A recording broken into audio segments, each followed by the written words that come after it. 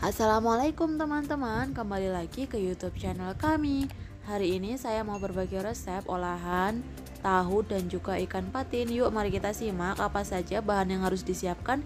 Jangan sampai ada yang ketinggalan.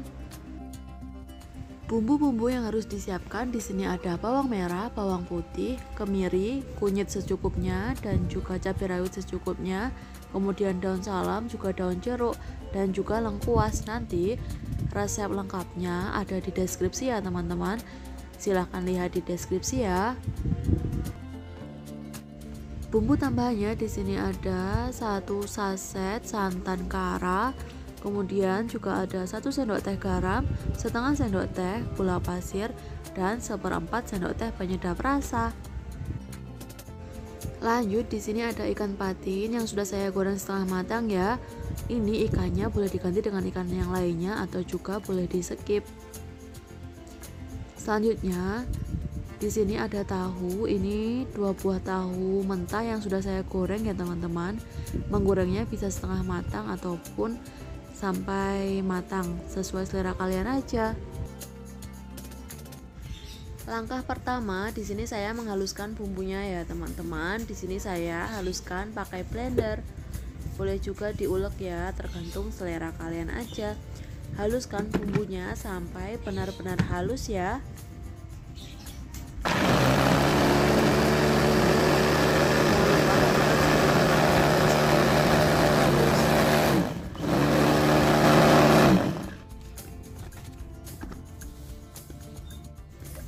Nah, sampai seperti ini ya teman-teman.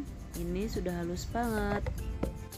Langkah selanjutnya, panaskan minyak secukupnya aja ya teman-teman. Ini minyaknya agak hitam karena minyak bekas menggoreng ikan patin tadi.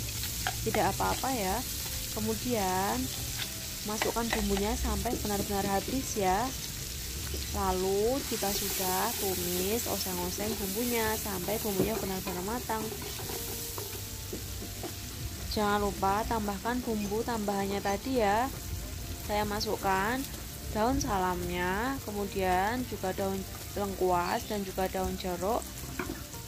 Lalu bumbu tambahnya tadi ada garam penyedap rasa dan juga gula pasir. Nah ini diusang-usang sampai semuanya tercampur merata dan tunggu sampai semua bumbunya benar-benar matang ya. Nah ini bumbunya sudah matang ya teman-teman kemudian saya masukkan ikan patinya tadi dan juga tahunya. Kalau sudah masuk semuanya tambahkan 180 ml air ya. Atau secukupnya. Sesuai selera kalian aja airnya. Lalu tunggu sampai benar-benar mendidih. Nah ini sudah mendidih ya teman-teman. Kalau sudah benar-benar mendidih seperti ini Masukkan satu bungkus santannya. Saya masukkan semuanya kemudian Saya tambahkan dengan air lagi di bungkusnya Supaya tidak ada santan yang tersisa. Karena biasanya di bungkusnya itu masih banyak ya santannya sisanya.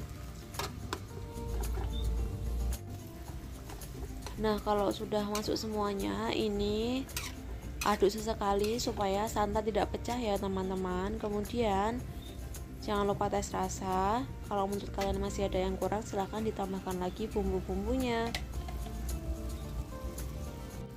Tunggu sampai benar-benar mendidih seperti ini ya teman-teman. Ini tandanya sudah matang. Kalau sudah seperti ini ini sudah siap untuk dihidangkan ya teman-teman.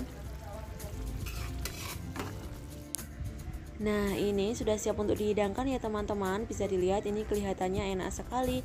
Semoga resep kali ini bermanfaat untuk kalian ya. Terima kasih sudah menonton. Jangan lupa like, komen, dan subscribe. Sampai jumpa di video selanjutnya ya